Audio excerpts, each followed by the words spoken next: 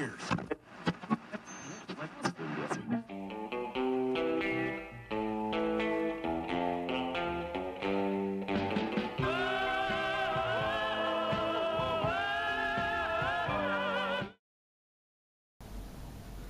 everybody and welcome to Gregg's Vintage Workshop where I'm working to restore history one piece at a time. Tonight we're going to have part 7 of the 1929 Victor R32 TRF radio. We're going to recap the bypass capacitor. I make a replacement for the tar block on that and I also check some other components. So without further ado, let's get started. Alright guys, so I'm going to show you something. I made a mistake and none of you guys caught it. And uh, I was watching my own video the other night and I noticed that when I put these springs back, I put them on backwards. I've since corrected it here. But originally I had in the video, I had the long wire connected here and the short spring close to the body. And that's backwards. It wasn't until I watched my own video that I realized that I'd put them on backwards. So I had to flip it back over here correct the springs, getting ready to put the uh, can covers back on there, and I'll flip it back over. But I want to show you that that's a good reason to watch your own videos and also an even better reason to refer back to your photos. Because I did go back to my photos and sure enough, they were backwards. So anyway, I want to show you that. I caught my mistake. Alright, let me show you where we're at right now. So I did this off camera, but I got my bulb socket back in place. I've got the bulb cleaned up. This is the original bulb, and it's not open, so I think it may be okay. Got it in there. The torsion rod that, I don't know if I can get where you guys can see it. Maybe I can. Let me bring this over here.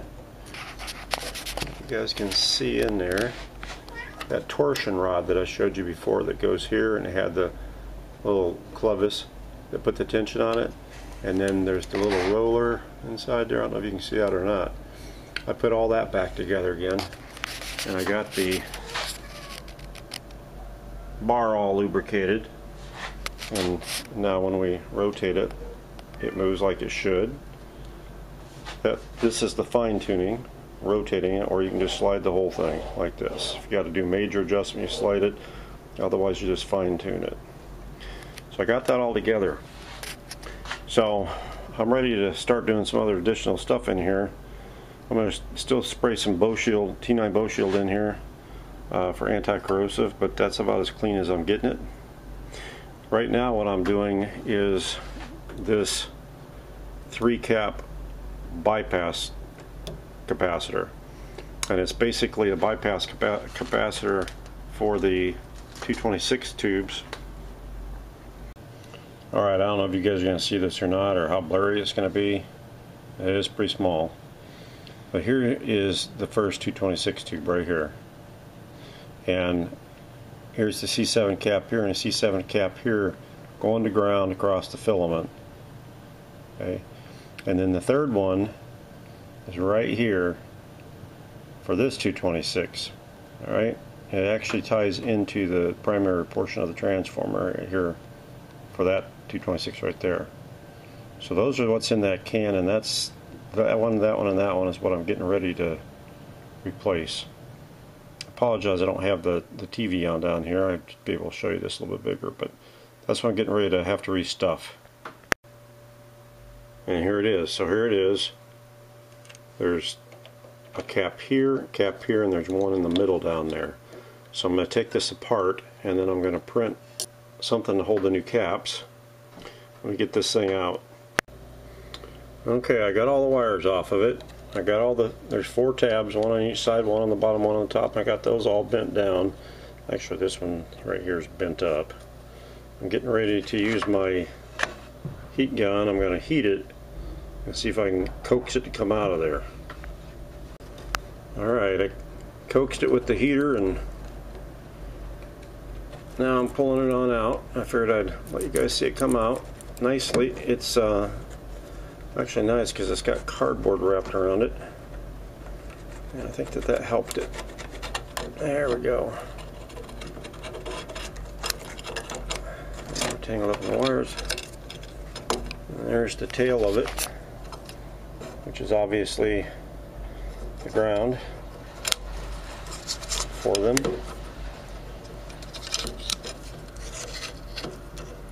And uh, I don't know that cardboard back because I'm going to print something out for it, but let me get that on off of there and we'll be back. Okay, so the plan is I am going to print a block like this and reuse this.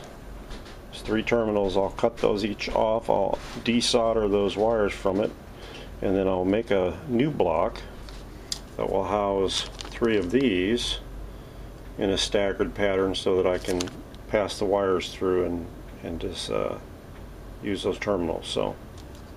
I'll get that measured out and we'll get it made. I'll show you what we got when I come back. Okay, so let me show you what I've got here.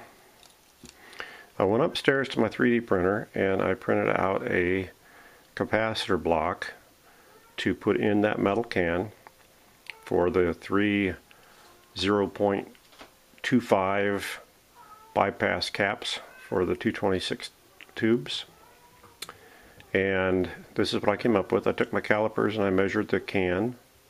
I've got 29 by 29 millimeters on the square by 48 millimeters long. And the 48 millimeters long should account for this part with the terminals, so I can reuse that, as well as being able to tie the grounds together back here and to the ground lead that's in the thing and still be able to push it all together. Let me show you what I got here. So you can see I made it for three and I measured with my caliper so I could make sure I got the holes right. Let's see if I can get one of these stabbed in there.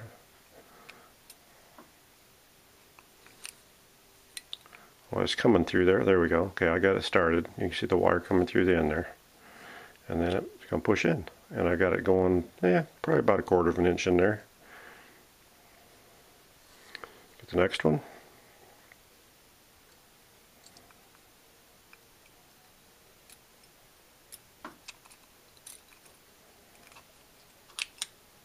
There it is.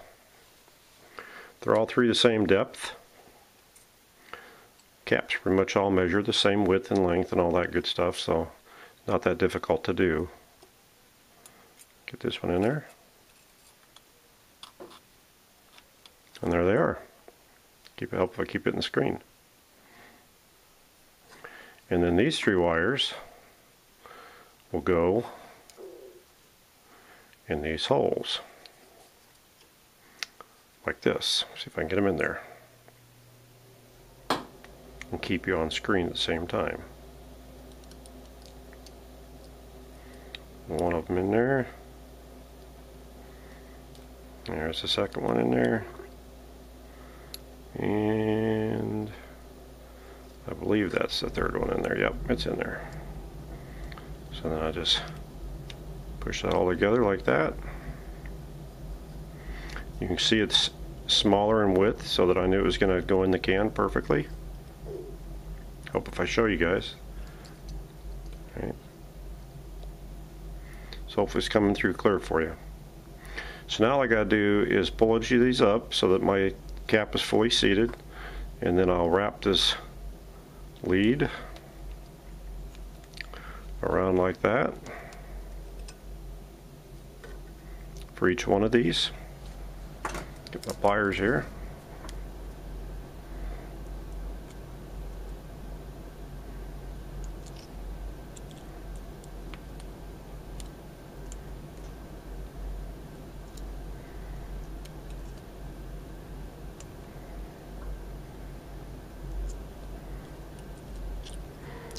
Need but one good wrap on there because they're going to be soldered and I'll trim off the, the difference.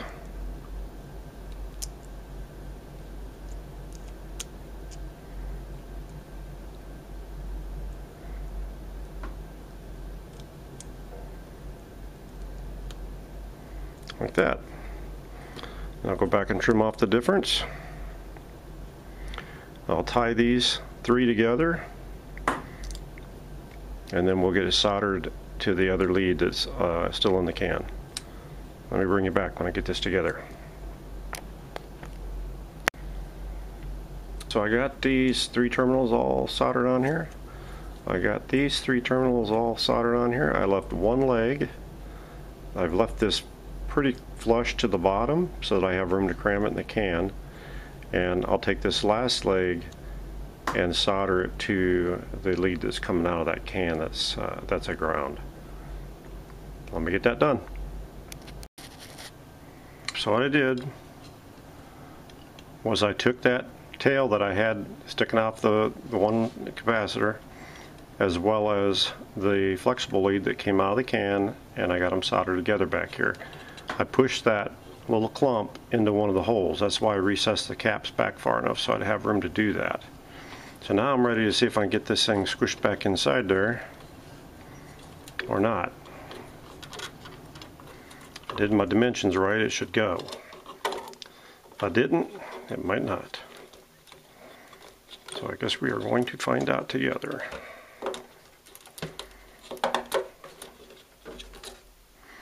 I'm kind of hanging on this tube a little bit down here.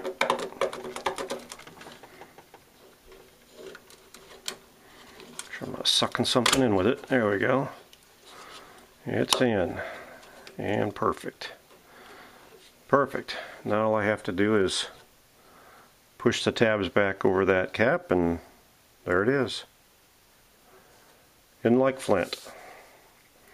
So let me get those tabs bent over and I'll get these wires soldered back on and we'll go from there. So I got that all in there. Got my little tabs all bent back.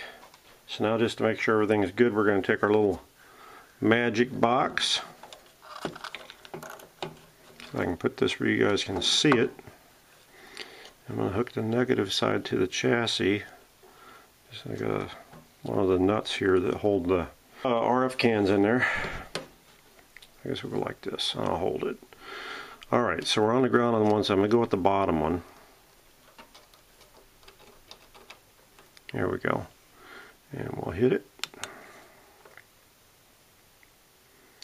And I don't know if you can see it or not, but it's showing 219 Alright, and this was a 0.22, so that should be pretty darn close. I don't think I can get it where you guys can see it. I don't know if it's showing up or not. Alright, now I'm going to move it to the top left one. I hit it again. 218. And we'll move it to the other one.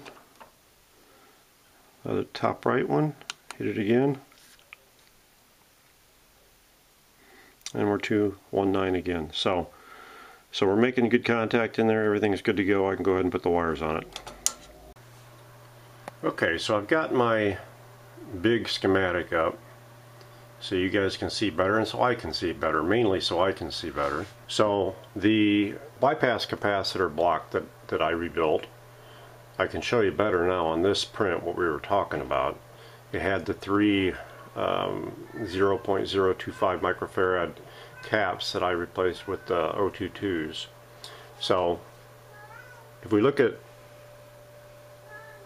the schematic right here, here's our cathode on this 26 tube, which is self-heating cathode. And here is one of those C7s. Here's the other C7. And as you can see, they're going to ground and they're, they're basically interconnecting to all of the uh, 226 tubes. Alright, and then here's this one here. There's the, the third one right here. So that was that cap that I redid. So now we're going to look at some additional components. Now this coil here is the antenna choke right here, okay? And it's going to the grid of that 226 tube, the first 226 tube. And then we're also going to be looking at that volume potentiometer and we're also going to be looking at this transformer right here for the detector. That's the detector transformer for the 227 tube right here. So let's take a look at these. So this is that little antenna choke and we're getting ready to test that and I've, I've done hooked my leads all up this is basically a ground to the chassis That's one side of it. And then the other side of it is going to that grid of that 226. I'm hooked up with both meters, uh, my little magic box as well as this one. So I figure I'll check, check it both ways and uh, we'll be able to hopefully get a good reading here. So and see how accurate these various meters and stuff are that I play with here. So we're going to go with this meter first. We'll hook that one up. And we've got 0.8 ohm. And this one's already hooked up. So let me turn it on, get where you can see it. And it's saying we got 0.96 of an ohm. So, eh, within a, within a, you know, a tenth. So I think we're okay. At least it's not open, so I think we're doing good there. All right, now we're going to move over to the 227 detector transformer. Let me set that up. Now we're set up to check the detector transformer, which is this round dealy right here. And I'm set up. Now, looking at the schematic, one side of that uh, coil goes directly to ground and uh, the other side going to the grid. We're going to go ahead, I've got my DMM connected to ground and then on this meter I've just got them both connected to the actual leads that are coming off of the transformer so we'll see what we get on that. So let's do the DMM first. And we got 30.5 ohms. Okay. And now let's hit this one. and we got 30.9 ohms so pretty darn close again reading pretty good so that's the one side of the transformer and the other side we're going to go to the plate of the 226 and we can pick up one of those C7 capacitors are in the circuit okay so I just got this set up. I'm picking up the bottom of that bottom C7 capacitor bypass capacitor okay because that's what we saw on the on the schematic. And I'll show you that again. I've just got the, the camera set up so I can't show you right this second but I'll show it to you again as what we uh, tested. So we're on the C7 capacitor and we're on the, the grid of the 226 right now. So let's go ahead and do this one first and we're showing 62.1 ohms. Alright now I've got my meter DMM connected to this same C7 it's just up where you can't see it up here. I tied into the alligator on the other side. But now we can touch this one here with the DMM and we got 62.1 so that's pretty darn close so that's good. That uh, detector transformer for the 227 is good. There's nothing open on that. Okay, so showing you what we just checked on that detector, 227 detector transformer. This is it right here. Okay. This is where I checked it where I said we were going to ground on the one side and then the other side we went over to the grid. Up there. Okay. Now we're getting ready to take a look at the R9 um, grid leak resistor and capacitor for that. We haven't looked at that yet. But here's the other side where I said I could go up check it on the plate at the 226. That's, that's right there. And then down here is where if we follow it over, it's that C7. That's that C7 um, bypass cap that's in that three condenser block that I rebuilt. And that's where I picked that up. So that's how we tested that. That was that circuit that we tested. Now we're getting ready to take a look at this R9 uh, grid leak resistor which is supposed to be a half meg and the C3 which I believe is 0.00025 I believe something like that. So let's see if we can get those figured out. And then we still have to also check this plate bypass cap here, C5. So this is right here, this is the R9 grid leak resistor and it is connected across the C3 capacitor. I don't think I can really check that capacitor with it being across it without taking it loose. And I really don't want to take it loose because these typically are okay. And unless I find otherwise, I'm not going to take it loose just to check it. But we are going to check the resistor. And I've got that hooked up right now. So let's just hit our little, I'm not going to do this one with the DMM82 because we ascertained that both of them are pretty close. So let's go ahead and see what we get here. Now I'm hoping you guys can see this stuff the way I'm seeing it. So it's showing 516.0K. So it's supposed to be half meg and that's what it is. Okay, so now I'm hooked up right here and this is that C5 uh, detector plate bypass capacitor. And according to what I just read there on my schematic, it should be 0.001 microfarads, which converts to a thousand picofarads. So let's see what it is. And it's coming up as 1251 picofarads. So it's a little bit off, but it's not that bad, and I'm certainly not going to worry about it. Um, big difference. It sounds like a lot when you're talking between 1,000 versus 1,200, but when you think about microfarad size, it's the difference of being a 0.001 or a 0.0012. So I think it's close enough. We're going to live with it. So now we're getting ready to look at this coil right here. This is the 227 detector uh, plate choke. It's a choke coil for the plate, for the 227 tube. We're going to check that. And then if we move down here to this 226 tube here, we're going to check this R1 resistor and this R3 resistor. R1 resistor I believe is about supposed to be 20 ohms and R3 resistor is supposed to be 400 ohms I believe. Anyway, let me get you set up and we'll look at that. So here's the 227 tube. Here's the plate. You can see that. And here's that uh, choke. I don't know if it's showing up on my screen, but here's that switch. Okay, so we're going to check that. I've got them, we're hooked up with our little box here. And we're coming in at 25.4 ohms, so that transformer is not open, so good, good stuff. Alright, now, if I can get you down where you can see, I'll show you where we're going to go next. This is the R3, and if you can make out this strip down here, there, this is a wire wound resistor here. It's flat wire wound, and we're going to go ahead and hook up and check those. Let me just see if we can move our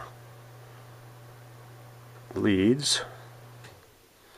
We'll check the R3 first. I believe the R3 should be 400. And let's see what we get.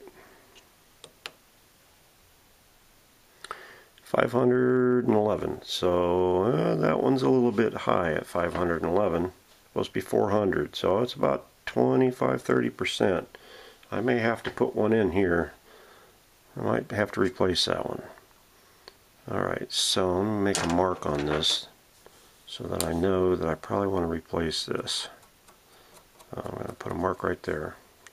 Now let's move over and check R1 get our leads moved over here. I hope I can get on it.